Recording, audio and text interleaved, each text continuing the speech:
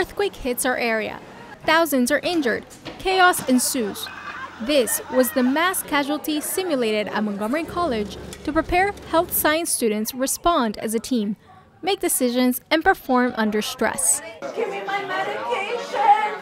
Um, for me, it felt real because in the real world, you really have no idea what is going to go on.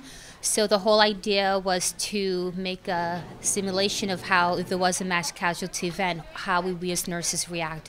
How would our patients react? And so there was no prompts or anything. We were given roles. We came in, and then based on the triaging of our patients, that's how we were going to take care of them. Organized chaos is definitely the best way to put it because when it comes to life events, you can never plan it. But then the only way you can handle it is to prepare for it. The objective was to bring our students together to work as a team in a disaster situation. And it's just wonderful to know that Montgomery College has these resources that we can share with our students. We're extremely fortunate. And after today, I know that um, our students will be taking excellent care of us in the community.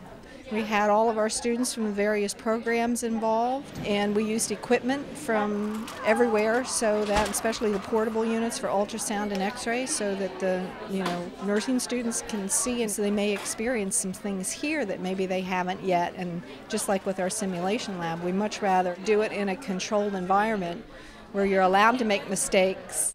Drill of this magnitude is not planned overnight. MC had the model of a neighboring college.